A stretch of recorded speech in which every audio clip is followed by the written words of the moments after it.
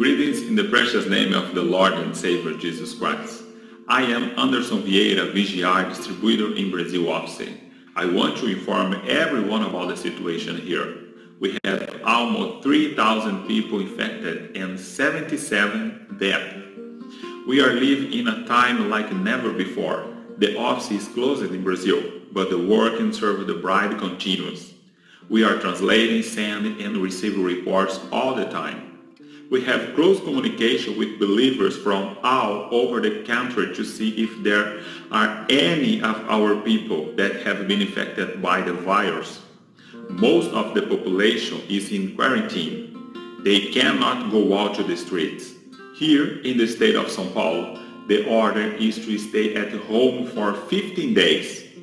Lately, the Lord put in our hearts to send all material as soon as possible for the receiver requests. Without knowing the reason, we send CDs and SD cards, tablets, and many books.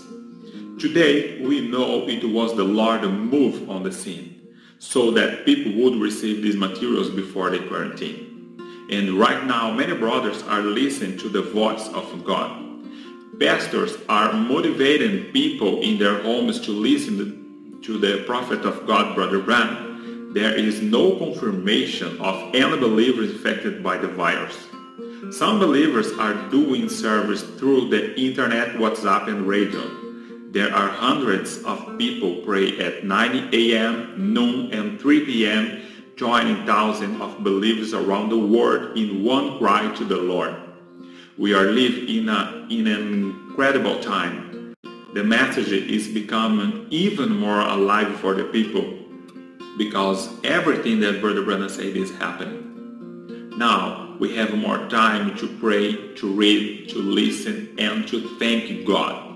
Thanks also to Brother Joseph and everyone in the VGR.